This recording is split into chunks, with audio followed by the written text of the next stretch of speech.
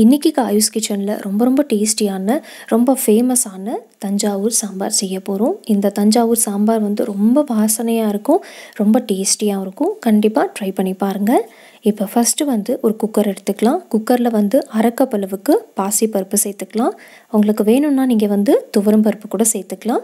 இன்றைக்கி நான் பாசிப்பருப்பு எடுத்திருக்கேன். நல்லா வாஷ் பண்ணிவிட்டேன் இப்போ இதில் வந்து பத்து சின்ன வெங்காயம் சேர்த்துக்கலாம். இதோட பத்து பல் பூண்டும் சேர்த்துக்கோங்க. அதுக்கப்புறம் கால் டீஸ்பூன் அளவுக்கு ஜீரகம் கால் டீஸ்பூன் வெந்தயம்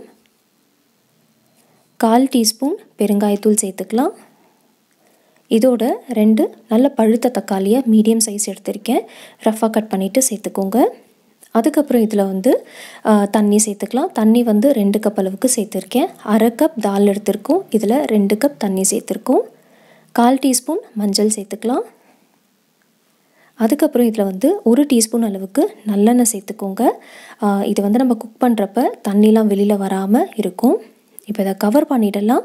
கவர் பண்ணிவிட்டு மூணுலேருந்து நாலு விசிலுக்கு வேக வச்சுக்கலாம். இந்த பருப்பு வேகிற டைமில் வந்து நம்ம சாம்பார் மசாலா ரெடி பண்ணிக்கலாம். ஒரு பேனில் அஞ்சுலேருந்து ஆறு காஞ்ச மிளகாய் எடுத்துக்கலாம்.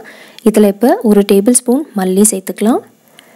அதுக்கப்புறம் ஒரு டேபிள் ஸ்பூன் கடலைப்பருப்பு ஒரு டேபிள் ஸ்பூன் உளுத்தம் பருப்பு இதோட ஒரு கால் டீஸ்பூன் கடுகு கால் டீஸ்பூன் வெந்தயம் சேர்த்துக்கலாம். அதுக்கப்புறம் கால் டீஸ்பூன் சோம்பு கால் டீஸ்பூன் ஜீரகம் சேர்த்துக்கலாம். இப்போ இதில் வந்து ஒரு டீஸ்பூன் அளவுக்கு எண்ணெய் சேர்த்துக்கலாம். எண்ணெய் சேர்த்துட்டு இதை வந்து நல்லா ரோஸ்ட் பண்ணிக்கணும். லோ ஃப்ளேம் வச்சுட்டு கலர் சேஞ்ச் ஆகும் அதுக்கப்புறம் நல்லா வாசனை வர ஆரம்பிக்கும். பாருங்கள் நல்லா ரோஸ்ட் ஆகிடுச்சு ஃப்ளேம் ஆஃப் பண்ணிவிட்டு இதை வந்து நல்லா ஆற விட்டுறலாம். நல்லா ஆறின பிறகு இதை எடுத்துகிட்டு ஒரு பிளெண்டரில் சேர்த்துக்கலாம். இப்போ பாருங்கள் நான் சேர்த்தாச்சு. இதை இப்போ நல்லா ஸ்மூத்தாக கிரைண்ட் பண்ணி எடுத்துக்கலாம். பாருங்கள் நல்லா ஸ்மூத்தாக கிரைண்ட் பண்ணிவிட்டேன் இப்போ இதை தனியாக எடுத்து வச்சுக்கலாம். அடுத்தது பாருங்கள் குக்கரில் வந்து விசில் வந்தாச்சு. ப்ரெஷரும் நல்லா ரிலீஸ் ஆகிடுச்சு இப்போ ஓப்பன் பண்ணி பார்ப்போம்.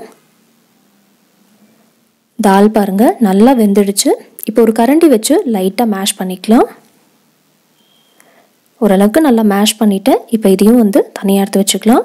இப்போ ஒரு கடாய் எடுத்துக்கலாம்.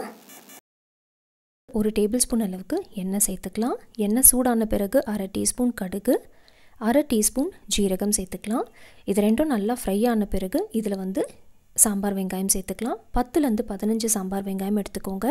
கொஞ்சமாக கருவேப்பிலையும் சேர்த்துட்டு இதை வந்து நல்லா கோல்டன் ப்ரௌன் ஆகணும். மீடியம் ஃப்ளேம் வச்சுட்டு இதை வந்து நல்லா ஃப்ரை பண்ணிக்கலாம். பாருங்கள் நல்லா ஃப்ரை ஆகிடுச்சு இது நல்லா ஃப்ரை ஆன பிறகு இதில் வந்து நம்ம முருங்கைக்காய் சேர்த்துக்கலாம். நான் மூணு முருங்கைக்காய் எடுத்திருக்கேன். இப்படி கட் பண்ணிவிட்டு சேர்த்துக்கலாம். இது வந்து ஒரு வாட்டி நல்லா மிக்ஸ் பண்ணிவிட்டு ஒரு நிமிஷத்துக்கு நல்லா சாட்டே பண்ணிக்கலாம். ஒன் மினிட் நல்லா ஃப்ரை ஆன பிறகு நம்ம வேக வச்ச பருப்பு சேர்த்துக்கலாம். பருப்பு சேர்த்துட்டு இதில் வந்து தேவையான அளவு உப்பு சேர்த்துக்கோங்க. இந்த சாம்பாருக்கு தேவையான அளவு உப்பு சேர்த்துட்டு தண்ணி சேர்த்துக்கலாம். ஒன்றுலேருந்து ரெண்டு கப் அளவுக்கு தண்ணி சேர்த்துக்கோங்க. ஏன்னா இது வந்து நல்லா கொதித்த பிறகு நல்லா திக்காக ஆரம்பிச்சிடும். So one to two cup தண்ணி சேர்த்துக்கணும்.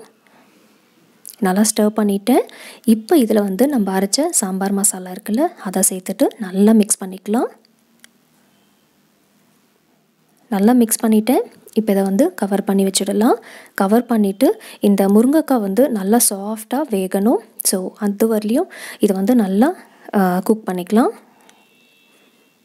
இப்போ ஒரு டென் மினிட்ஸ் ஆகிடுச்சு பாருங்கள் நல்ல முருங்கைக்காவோட வாசனை வர ஆரம்பித்தாச்சு முருங்கைக்காவும் வந்து நல்லா குக் ஆகிருக்கு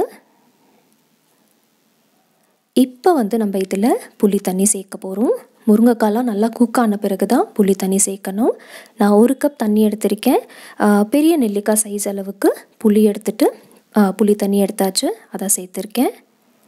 ஒரு வாட்டி நல்லா ஸ்டவ் பண்ணிவிடுங்க இந்த சாம்பார் வந்து உங்களுக்கு திக்காக இருக்கிற மாதிரி தோணுச்சுன்னா இன்னொரு கப் தண்ணி சேர்த்துக்கலாம் இந்த டைமில் இப்போ இதை வந்து ஒரு அஞ்சு நிமிஷம் மீடியம் ஃப்ளேமில் நல்லா கொதிக்க விடணும். புளியோட அந்த பச்சை வாசனை போகணும். ஸோ ஃபைவ் மினிட்ஸ் நல்லா கொதித்த பிறகு ஃபைனலாக பொடியாக கட் பண்ண கொத்தமல்லி இதில் சேர்த்துக்கலாம். சேர்த்துட்டு ஒரு வாட்டி நல்லா மிக்ஸ் பண்ணிவிட்டு ஃப்ளேம் ஆஃப் பண்ணிடலாம். அவ்வளோதான் ஃப்ரெண்ட்ஸ் நல்ல வாசனையான தஞ்சாவூர் சாம்பார் ரெடி பண்ணிட்டோம். ரொம்ப ஈஸியாக செய்யலாம். ரொம்ப சிம்பிளான ரெசிபி கூட கண்டிப்பாக உங்கள் வீட்டில் ட்ரை பண்ணி பாருங்கள் ட்ரை பண்ணிவிட்டு மறக்காமல் உங்கள் ஃபீட்பேக் எனக்கு ஷேர் பண்ணுங்கள் என் வீடியோ பிடிச்சிருந்துச்சுன்னா மறக்காமல் லைக் அண்ட் ஷேர் பண்ணுங்கள் காயூஸ் கிச்சனுக்கு சப்ஸ்கிரைப் பண்ணிக்கோங்க.